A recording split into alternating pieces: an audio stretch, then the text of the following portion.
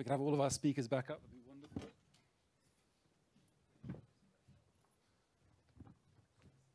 Unlike the Graham Norton show, you don't get a glass of wine, I'm afraid. I'm going home. Fantastic. So I'd like to open up to the floor if anyone has any questions to ask our incredible panel. I'm going to start off. Fantastic. I don't need to start off. Hi, uh, thanks very much. Three great presentations. Kieran Walsh, I'm Clinical Director at BMJ. Um, I guess my question is about AI and big data and machine learning algorithms, which may be pushing us in the wrong direction, using more of our resources to drive them. And I wonder, does anybody have any thoughts on that and what we can do? Pete, I guess. I'm, I'm, not an expert in this area, but it's obviously it's come up a few times. I think people are well aware that um, servers, you know, and compute power has and creates energy. I think the only the only kind of um, uh, response from for me in this first instance is that I know that these big tech companies are obviously looking at that. How do they make things more efficient and effective? Um, there's a really good company, actually, you probably heard of them because they were on the news and they did reach out to us, uh, Deep Green, but they use the heat from their servers to heat swimming pools. And again, a really nice sort of circular economy. So for me, the compute power is not the issue necessarily. It's what we're doing with that wasted energy. It's, you know, it is the, the kind of precious metals that might be going into them servers. But everything, this is why I kind of hope, hold on to innovation there is lots of things around like the compressing of data. You know, again, data is frowned upon. We waste a lot of data, emails back and forwards, but data is not the problem. It's just the fact that we've not quite compressed it enough. And, and it's a bit like, you know, to use that kind of analogy of the, the Walkman versus the iPod, you know, we used to all, well, I certainly did, you know, with a, a cassette, uh, an individual cassette for each tune, and then, you know, an Apple did what it did. So it's a good example of, like, we do need to keep innov- being innovative and, and change that. So I, I, I, it is a problem, obviously, but I, I think it's a problem we can overcome. And I think, again, the benefits outweigh you know, if we look at all the advancements, I mean, people are discovering new materials with AI. You know, we're able to diagnose quicker. I think those benefits for me still outweigh, but yeah, not without some consideration. Thank you. Any other questions? Thanks, Gus. Hi, great talks. Uh, I've got a comment, uh, which may be a question, and a more focused question to Heidi. Uh, the the comment is I come from a very kind of macho background. Um, in Cyprus, we really enjoy barbecued meats. What would a guy like me say to my father, who pretty much every Sunday goes out and barbecues, and you know he's uh, a little bit on the obese side? So I uh, I try and convert people with food.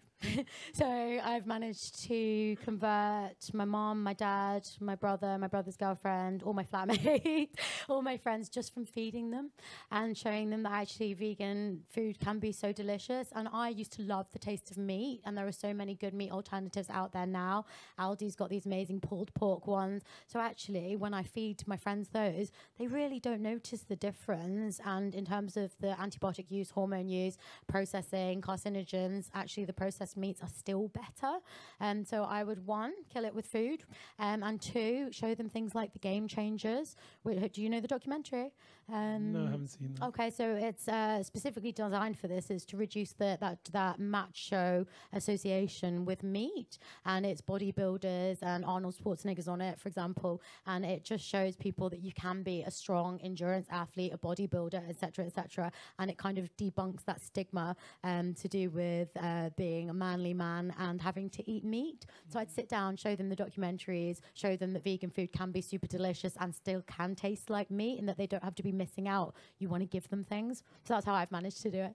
Okay, that's great. Thank you. Thank you for that. I just wanted to add on a little bit to that as well. It's it, the other thing is it's it's about messaging and about most of what we do within sustainability is about messaging, and it's not we don't want everybody to do go to the whole veganism extreme in day one and it's about getting the right message for the right people you know your father you know what he's receptive to you know how he thinks, and that gives you a real power to begin to think about your approach and your conversation with him. And it's and I think one of the one of the biggest disservices we do is when we try to do blanket kind of messaging to everybody, and it needs to be much more tailored if we want behavioural change, which is what this is. I could go into the history of Cyprus, but just just before Easter, there's like a 40 day um, fasting period where everyone pretty much eats vegan food, um, including my father. Um, but there's no continuation, and right after Easter, everyone's bar- barbecuing again. Um, but thank you for that. Um, the question that I was going to ask, uh, more focused towards yourself, Heidi. Um, I've started a company that can track and trace uh, medical devices and inventory by scanning the GS1 code. Um, and uh, we've won a smart grant innovation. Uh, and I was just wondering, I, I, I think I came into your talk a little bit late, but are you using that kind of scanning technology to monitor inventory uh, for sustainability purposes? I'd love to say yes, but we are a million miles away from that. And if you think about where inventory sits within the NHS, within trusts, it is it's a, is a, there's a huge amount of work we're doing on an inventory management program, supporting trusts across the country because of that very issue. And tools like yours are, are really useful, but we have to have the data first. And if we don't have that first step, we can't get to the point where we can use the data. Yep, absolutely. Uh, what what kind of data would you like so I can tailor my system? It's probably a conversation for kind of sure. afterwards. Okay. Thank you, Heidi. Thanks very much, guys. Any other questions for anyone else? Okay, I've got one for you, Heidi. So, um, I work for Nuffield Health. We do a lot of work with our supply chain, trying to align ourselves with what the NHS are asking so we can have a sector-wide approach. And when we've asked a lot of our tier one suppliers, for example, for information on their emissions, a lot of the information we're getting, say from a big international organisation, will be UK-based data. So the carbon footprint of, say, I'm not going to name the companies, but the carbon footprint of company A would be really quite surprisingly small, and then you realise that that's actually from their offices in the UK, and most of their stuff is made abroad. How are you combating that through through the means that you've you've um, shared with us today?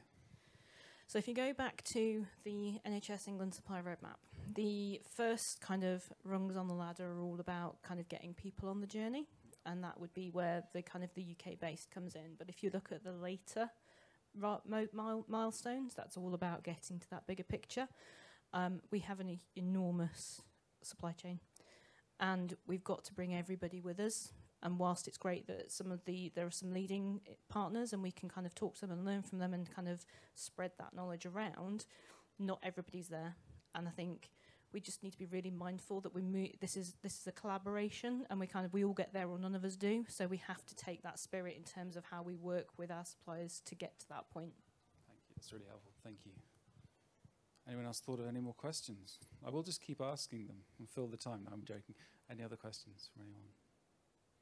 Do you have any questions for each other? Oh, we got one. Brilliant. Thank you very much. not aimed at anyone in particular, and I've I've just thought of this as something. It's more of a discussion, I guess. But uh, in decarbonising and going vegan, and the we see a lot of companies producing plant-based physical things. So from packaging going toward cardboard from plastic because that's perceived to be better. But that, uh, and, and of course, when you factor fuel in, there's just been the first, I think, transatlantic flight hasn't the bait that was, I think it was 100% from waste fats. I don't think it was purely plant-based, but uh, um, the decarbonising things and fuel leads to pressures on the on food production, on plant production. So I just wondered if there was a if there's a discussion about that and how you get you you you you, you try and I guess plug one hole and open another one. Um, where where does that go? Sorry, it's a very open question. So, but I think it probably involves all three of you. I'll, I'll go first because I've got hold of the mic. I think somebody spoke about it earlier, and or I overheard somebody talking about it earlier to do with the over reliance on single use that we have, and actually that drives consumption. And actually, what we when we're looking at what we're doing, we need to be thinking much more circular in terms of reuse of materials and keeping materials in the value chain for as long as possible, as high in the value chain as possible. Um, and that is a huge part of the answer to that question, so that we, we kind of we don't we, we don't rob Peter to pay Paul. I don't know if I've got anything to, to add necessarily, but I think I've been watching a bit of COP28, and you do realise that there's a lot of contention with that event, isn't there? And, and I think that's the the reality of climate change. You know, one person's opinion is different to another. I think my only ask is that we don't forget talking about net zero. I think that is the reality. You know, there might be those scenarios where there's perverse incentives, but let's keep putting the planet at the heart of the thinking and the decision making. And um, you know, we might get things wrong. You know, we might start investing a lot in AI, and it might have that detrimental effect for the next two to five years. But then five to ten, it might. So, but unless we keep having that conversation, we're never going to put a spotlight on it. And specifically with regards to diet, um, there was a graph on there which showed the proportion of the energy expenditure from transport, the transport aspect of farm to fork and actually that was so minimal. So with regards to diet specifically it's actually the the land use and everything that's actually the biggest contributor. So specifically for that yes ideally everything would be local but actually when we're talking about i think that's some slight greenwashing actually within the uk um, and we need to be looking about what the ingredient where the ingredients are coming from and how much land water use that that produces anyway. I, I think there also has to be a recognition, though, if we're going to have a green industrial revolution, we've got to ask ourselves what's going to kill us first, all right? So we are going to have to absolutely pillage the earth to make our batteries, mining resources and things like that. But I'd rather do that than have the CO2 continue to rise because that's going to kill us quicker than than that. But, but we need to do it in ethical ways as well. But there is going to be a bit of robbing Peter to pay Paul in this. We need to be honest about that. But we need to be as circular as we can in that approach. So making sure that once we have taken some stuff out of the ground, we're not wasting it.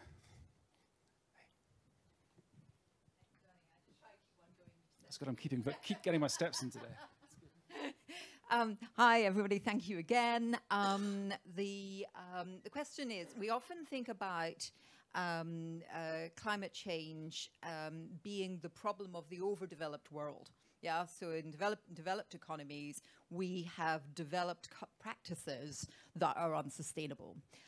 I just want to ask the individual members of the panels what they've seen in countries that aren't overdeveloped or developing economies. What are the already culturally ingrained practices that we could learn and inculcate to kind of take us back from the brink?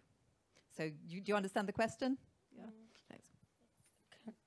So, from my perspective, so my heritage is Indian and my heart is kind of in Sri Lanka because I feel very safe there and I feel like they've been through a lot of trauma, but they are very resourceful with the effects of that. After, for example, the tsunami, the civil wars, now there's the political unrest, for example. And I'd say it's very similar to what I've seen in India, and I've stayed there for long periods of time to do kind of alternative and herbal medicine. So, I've been in the jungles there. They are very, very resourceful and adaptable with what they've got. Um, they do, they are the, the people that are suffering the, the effects of climate change. They're, uh, they're, they're grounds are flooding, you know, you can see the water levels on the buildings. So we need to see exactly what they're doing in order to sustain their their fruit, their their vegetables, their farming, and often that's not they're not able to mitigate it, and that is the reason that we care so much as people that can mitigate it and people that are affecting that so much. So yes, they are very resourceful with what they got, but at the same time they're not able to adapt at a rate that we that we would like them to be able to. Um, and often, you know, a lot of it is actually their their mindset is really really brilliant and resilient. I've been walking around Sri Lanka and India, and they're so giving. They're so they're so caring about their neighbours. Their doors are always open, and they're the people that are being affected the most by the rainfall and the droughts. And actually, it's that that state of community which they have, which is so incredible to see. When one family, when their house kind of gets destroyed by something, they're opening their doors to everybody. They're sharing their food, and it's that community, that networking, that spirit, which is absolutely incredible for me to see. And I think we have a lot to learn from that. Only quickly, I uh, love Native American Indians, uh, and again, I think if you look at their sort of fascination and appreciation for the earth, it's uh, it's a nice culture to follow. Um, really ironically, I just had a tweet, uh, a text coming through on my phone. Um, I said I'm a flood warden, we're now on standby. So again, it, it does hit you personally, and, and I feel for people in deprived communities. What we see on the news, you know, homes being destroyed because you know straight away there's a there's a mental, um, uh, you know, battle that I have to kind of face with thinking, God, is that the right house to live in? Because I've seen the flood maps for the location where I live. In the next ten years, that's all underwater. But you live in Hull, don't you? Yeah. I think I was just going to reflect what, what you said. It's that there's, there's for me there's two. There's the the individualism versus cult, uh, so- social aspect of, of our cultures, which are typically Western and Eastern cultures, and actually the that drive to individualism, but also then on top of that the consumerism are the things that actually we need to unlearn and actually we have a lot to learn from other societies in how we, we, we tackle this because for me the climate crisis is very much that kind of um, meeting point of social, economic, and environmental issue that all kind of come together and kind of interact with each other. And actually, the fact that we've become so individual means that we're not looking out for the societal needs that we have as we should do. I hope that answers. I think it's such a good question, and I think the scientific community is now starting to. Look I think we've been quite arrogant within science. You know, the, everyone learns from the West. It's, it's I mean, the, the, there's an amazing paper, uh, recent, well not recently, actually, it's quite old now, um, looking at the carbon footprint of a cataract procedure done in the UK versus the Aravind Eye Hospital in India. And the difference between the two is just so stark. What can we learn? What can we learn from these people? How are they doing it so efficiently with the same outcomes? A question over here, thank you. Um, thanks much to the three of you. Again, it's not quite a question, more of a comment as well. I find it I find, and I, I include myself in this, very hypocritical in all of these conversations because we're um, in our job, we're more than happy to jump on a transatlantic flight to go to a nice big conference, which undoes an entire year of living vegan, for example. So, how are we, you know, asking people to make incredibly big life life uh, change habit changes, but we're more than happy to undo all of that in a few hours flying about all the time. And, you know, I'm just interested, there hasn't been a single conversation about that today. Uh, just, just, a comment, it's not really a question, you have to answer it, but. I, I feel your pain as well, and I said this last week as well. It's um, there is a lot of climate anxiety, and you, you mentioned that as well. I, I think we've got to try and not take too much guilt on our shoulders. We've got to want this topic to be talked about and something to be done about. So I think again, you know, recognizing that we are a bit hypocritical. I'm the same at home. I am consuming, but then the the presentation I did last week, I, I gave a, uh, an example of my wellies that I fixed because I just couldn't bring myself to throw them away because I thought I've only just bought them three months ago. So I ended up repairing wellies. But then I felt a real sense of surrealism that I'm repairing wellies, and then you look around at the massive infrastructure projects and the air pollution, just what am I doing kind of a thing. So I guess what I'm saying is don't feel guilty about that, just recognise it within you. And, and the other just final point, and I saw again, it's at COP today, but um, they're having a debate about the voluntary carbon market. Offsetting is being seen as a dirty word, and I think we've got to change the narrative. We've got to invest in nature and do it quickly, but yet we've created this really sort of bad culture where everyone thinks, oh no, investing in offsetting is just like delaying the problem. But, you know, we, we, the, the things that we could do as well, we are going to have to travel, aren't we? But, you know, why, why wouldn't we offset? Why wouldn't we invest in nature? Nature needs our helping hand right now, and it needs money. I'm not saying it's, um, you know, a get out clause, but of course people are going to have to travel. And so that, that's just my thoughts. I think it also goes back to the comment I made earlier about absolutism, and we can get hung up on trying to be the absolute pinnacle of eco or whatever it is. But we live in a society that is based on oil. So you are only ever going to be constrained by that. What it comes down to is we all have to make our own individual choices and be able to live with it and understand what the choices and the meaning of the choices that we make. Thank you. Yeah, and these are exactly the same topics that do come up in our eco anxiety sharing circles, and the same topics that I'm sure you have with your colleagues or your friends. You know, when you're just thinking something out loud, and actually it develops an amazing conversation like this, which helps us to cope with the guilt that we might feel from those behaviors because we exist and there is a, a cost of existing. So, everything that we're doing, you know, you can't do absolutely everything to be carbon neutral or to be carbon negative. There's always going to be an imprint, but it's understanding that and deciding which are the things that we choose to care about. I know lots of my friends don't fly anymore, but I still choose to fly. I've massively reduced it, but there are certain other things which I have changed to say, okay, well, I'm already trying my best with that, and that's the thing that I'm choosing to specialize in. So I'm going to try and not feel guilty for the things that I am choosing to do. And we've all got to try and work out how best to manage that and to help others manage that as well. I think if you're in an industry and you're working from the supply chain, it's your messaging is important. I mean, I heard a good quote the other day from Hugh Montgomery. I hope he doesn't mind me quoting him, but he's like, sustainability is like pregnancy.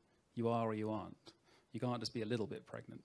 Like, as an, as, a, as an organization, you can't sort of just go out there and be like, we're sustainable because we've got a recycling bin. No, tell us what you're actually doing. We're not, we know you're not going to be completely net zero now. Not many people are. But give us your data. Tell us what your roadmap is. Give us information. And it's the same on a personal level. You know, I may well be wearing vegan shoes today, but I'm flying to South Korea next year because I'd quite want to go and visit the world. Yeah, it's terrible, isn't it? you know, I feel terribly guilty about it. You know, I'm not completely plant-based, but I'm standing here on a stage telling everyone to do all this stuff. But we all need to do it something. I need to be a lot better, you know.